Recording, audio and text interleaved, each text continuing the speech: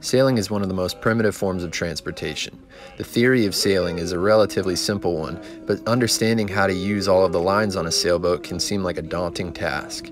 In this video, we're going to be talking about how to properly use your running rigging in order to be better at understanding sail trim.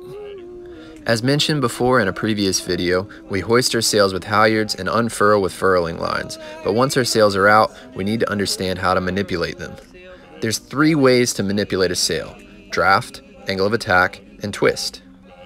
First, let's talk about the effect that our running rigging has on the draft of our mainsail. The first and most common line on a sailboat used to manipulate draft is called the outhaul. The outhaul is a little line that runs from the clew of the sail to the end of the boom and can be used to flatten the foot of our main. By tightening the outhaul, we're going to be reducing the power of the lower section of the sail. The next piece of running rigging that some boats may have is an adjustable backstay. The mast is fixed in position at the mast step and where the forestay attaches. By tightening the backstay, the top of the mast goes aft and the middle section bows forward, thus flattening and reducing the power of the middle set of the sail. Because it's adjusting the power aloft, tightening the backstay is a really effective means of reducing excessive heeling and weather helm. The last piece of running rigging that we may have to affect the draft is the Cunningham.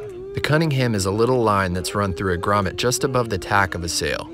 By tensioning our Cunningham, that's going to increase the tension of the luff of the sail, which in turn flattens the sail slightly, but more importantly, moves the draft forward. This means that the power is being redirected at a more efficient trajectory. Next, let's talk a little bit about our boom vang. The boom vang, or kicking strap, is a line that's used to pull the boom down. A boom vang can be comprised of a rigid piston system like this, or it can be a simple block and tackle. The boom vang's primary function is to control the amount of twist in the main. By tightening the boom vang, that's going to pull the boom down and reduce the amount of twist.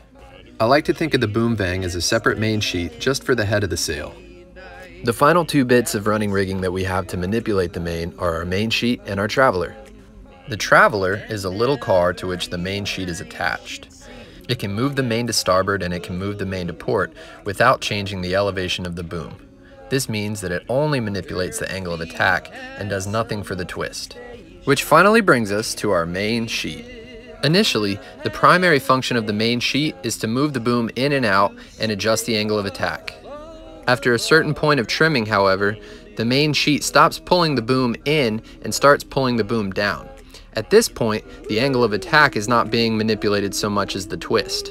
Because of this phenomenon, when sailing on a close haul, set your twist with your main sheet and then adjust your angle of attack with your traveler.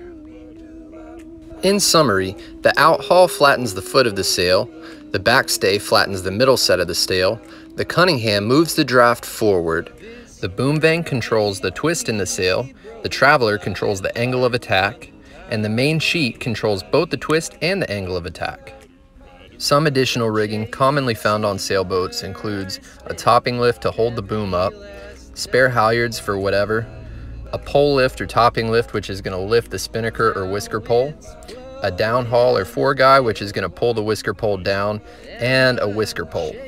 I really hope that this video has been helpful in understanding the common rigging on a sailboat. And for more information on draft, angle of attack, and twist, please watch some of my other videos. Thank you so much.